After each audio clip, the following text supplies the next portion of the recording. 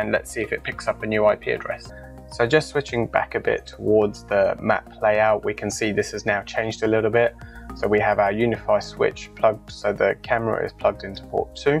We have our Wi-Fi access point and we can actually now see my desktop is connected to the Wi-Fi access point. So the more devices you have connecting, this topology will grow and grow and grow.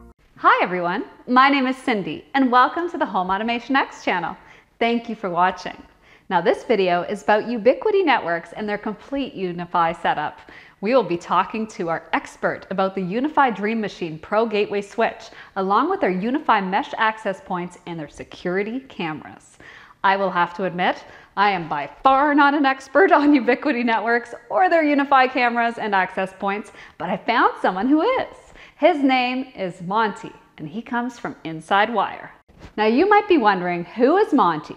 Well, there is no better way than to let him say that for himself while he discusses the Ubiquiti Complete Network setup. Hi Cindy, thanks for having me back again. It's great to be here. In this video today, we're going to be looking at Ubiquiti's complete setup of their UniFi products. So how these all link in together. If your viewers like what they see, my link is down in the description below where I have a full Ubiquiti playlist. They can go ahead and check that out. Hey everyone, welcome to Inside Wire. Today we continue with our Ubiquiti series by me showing you how easy it is to set up a network from start to finish. This will include setting up a Wi-Fi network and a LAN network using VLANs. In this video today we'll be using the following products. We'll be using a UDM Pro 24 port switch, an AC Pro Wi-Fi access point and a G3 Flex camera. I have, however, already covered the setup and configuration of the UDM Pro and the G3 Flex camera. So if you want to look at how these are done, the links will be on the screen now and they are also in the description below. As always, please subscribe to my channel for more great Ubiquiti and tech content. The links for all the products we are using today are in the description below. If you want to purchase them or even have a look at them, please check out my Amazon affiliate links below. Anyway, let's jump straight in. So let's go to unifi.ui.com. I am already logged into this, so it's going to bring me straight to the page. It's telling me in the top right hand corner that I've found some new devices that I've plugged in, which is to be expected. So let's click on the UDM Pro. That gives us the options for protect, access, talk, network. So let's go into network.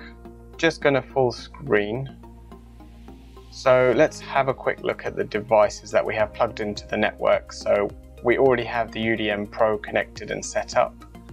We have plugged in a 24 port switch and a UniFi AC access point. So before we go further, the first thing we want to do is adopt the devices. So we'll start by adopting the 24 port switch. So click adopt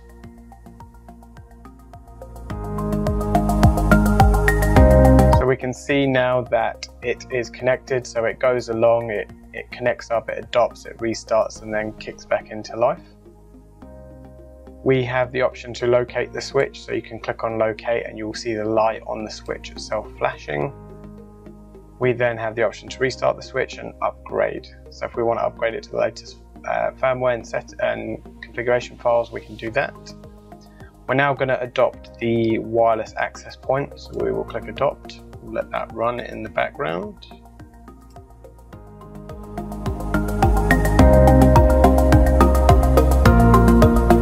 So now you can see the AC Pro is now connected up as well. We have the same options. We can locate the access point. It is already up to date, so we don't have the update option, or we can restart it. So you're probably wondering, I haven't actually shown you how I connected this all up and set it all up. I'm actually going to show you that now on the map. So let's click on map on the left hand side. And now this gives you a quick diagram. I'm just going to push that up because we're not really focused on the bottom part too much. Um, we're more interested in the bottom. So we've got the UniFi Dream Machine connected into the 24 port switch. We then have the access point plugged into the 24 port switch. We have a machine and we have um, a camera plugged in main ones that we're interested in at the moment is the access point and the camera and the switch. So you can actually take a look at the link labels also, which show you what ports they're plugged into. So you can see this is plugged into port 1 in the UDM switch, this is plugged into port 24, and this is plugged into port 13.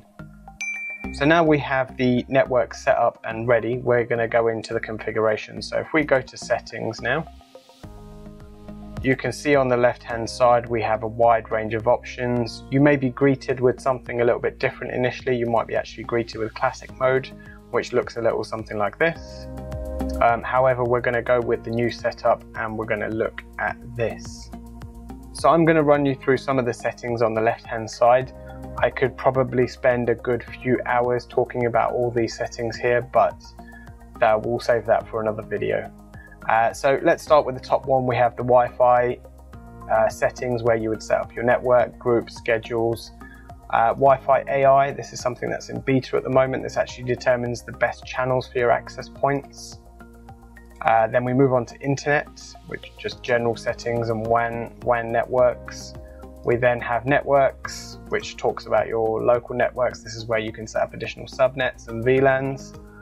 We then have hotspots, which you can set up for guest access, so you can actually allow them to accept terms of service, authenticate, provide them a voucher, even you can actually charge people to use your Wi-Fi if that's what you want to do for your business or if you're a cafe, hotel, it's quite good for that.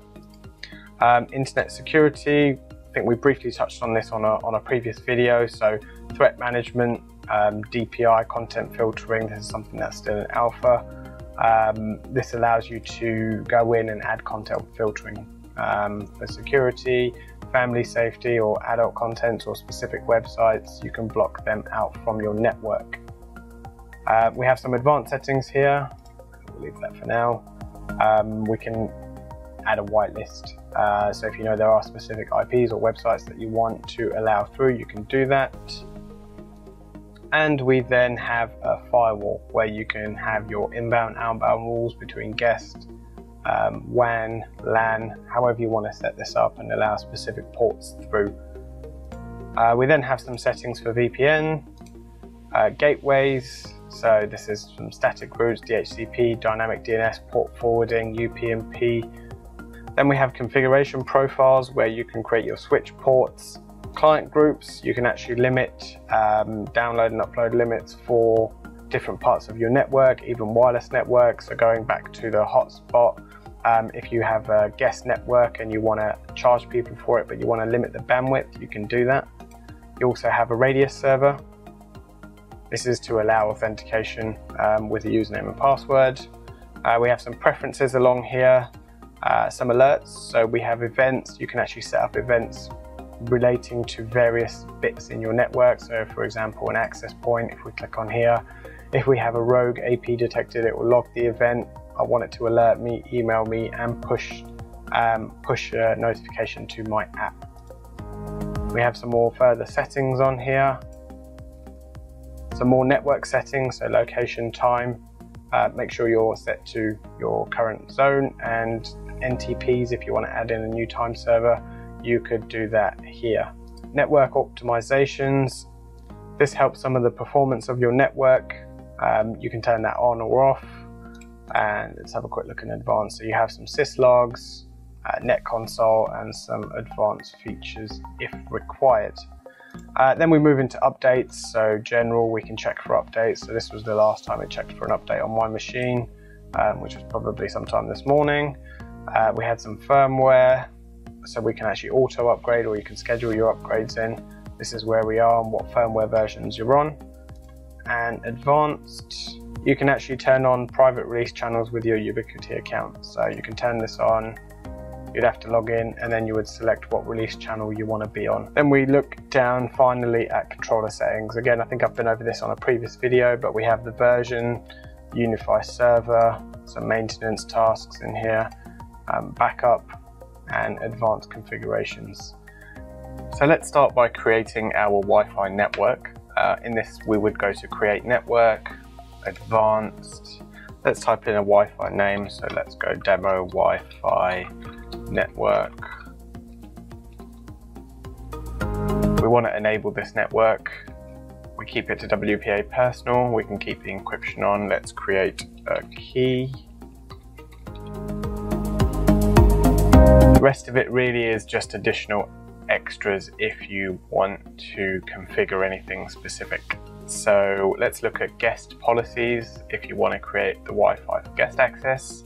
Uh, this is where I was talking about the, the hotspot area just here. It's where you can set that sort of thing, those up. Um, you can refresh the shared secret between the device every hour. You can hide the SSID. Not going to go through all of these, but this is where you would configure your VLAN. So where we've configured VLAN 99, that's what we want to use. We want this to use VLAN 99. And let's keep going down. There's some additional settings here and let's click done. So we'll give that a couple of minutes. That will then go off and get itself set up. So the setting actually is behind me now. If I turn around and say create new Wi-Fi network is actually on this side just here behind me. So it's actually right there. So if I swing out the way there, you can actually see it says network.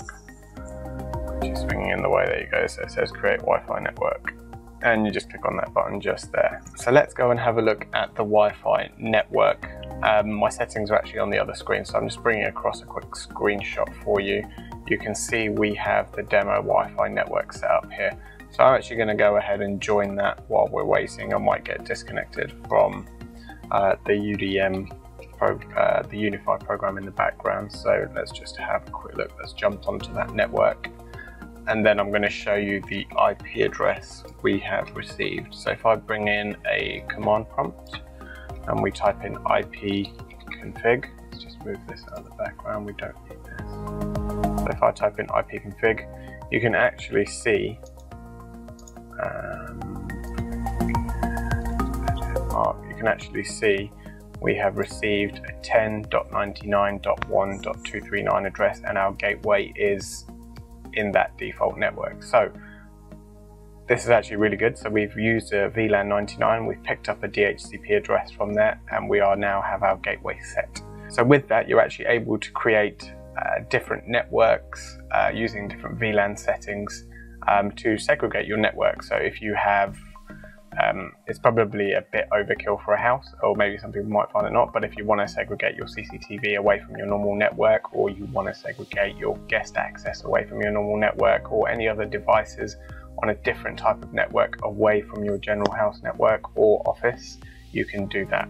So given the example I just gave a couple of seconds ago, let's try and set up our CCTV G3 Flex on a different VLAN so it is away from the 10, uh, 10.99.1 network. So let's just move this out of the way. We don't need that anymore.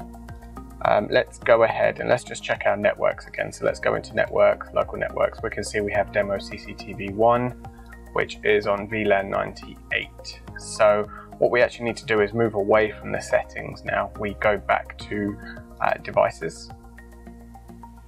Um, actually, I'm just going to quickly pop to the map one second. I can see my CCTV is plugged into port one at the moment of the UniFi switch, which is fine. So I'm going to actually set a different port um, to have that different VLAN on. So we go to devices, let's click on the PoE switch and we can see we have something plugged in here, we have something plugged in here, and this is my uplink to my UDM Pro. It actually specifies on it that it is an uplink. Um, downlink AC Pro and it just has an all profile and you can see how much power over Ethernet um, wattage it is giving out at the moment. So what I'm going to do is I'm actually going to change port number two. So I'm going to click on port number two.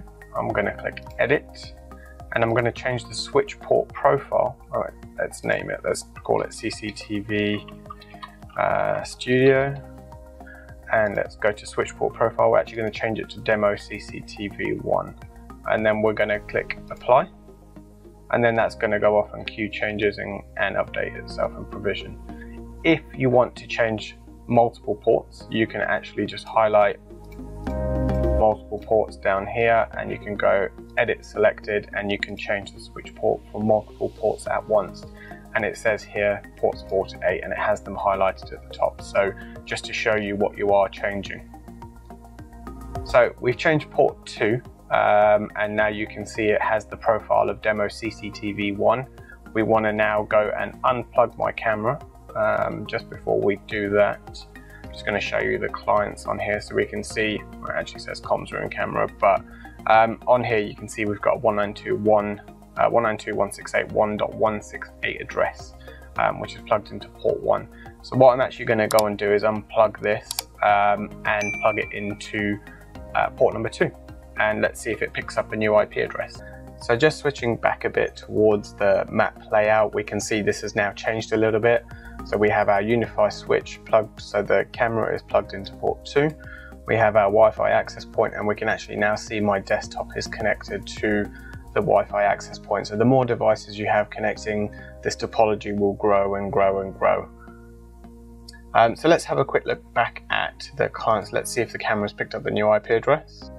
Okay, excellent. It's picked up uh, the, the, new IP address on VLAN 98. So that actually means now that it is on the demo CCTV network, which is perfect.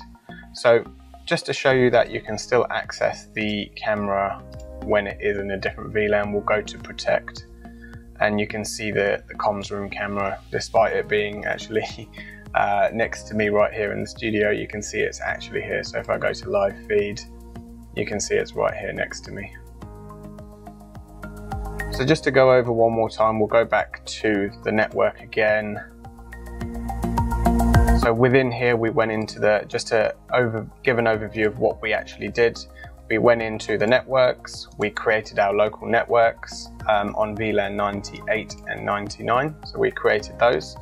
We then went across to the Wi-Fi networks and we created the Wi-Fi network on VLAN 99. Just go down to here and show you that one. Um, so that, that's changed to VLAN 99, so we did that.